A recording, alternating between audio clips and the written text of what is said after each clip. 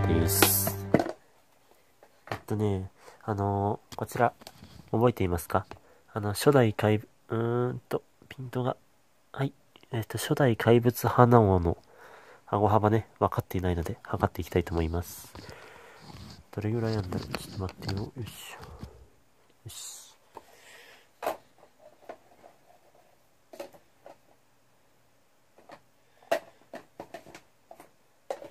顎幅とかの測り方はわかんないんですがね。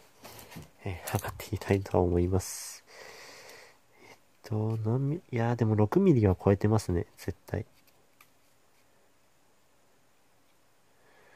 はい、6.4、ん ?6.4 で合ってるのか？ちょっと待ってよ。これで、えっと、押さえて、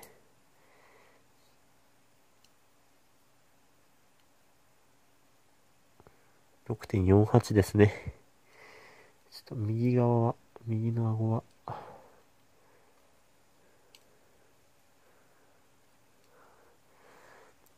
こんな感じですかね。6.4ミリです。うん、太いですね。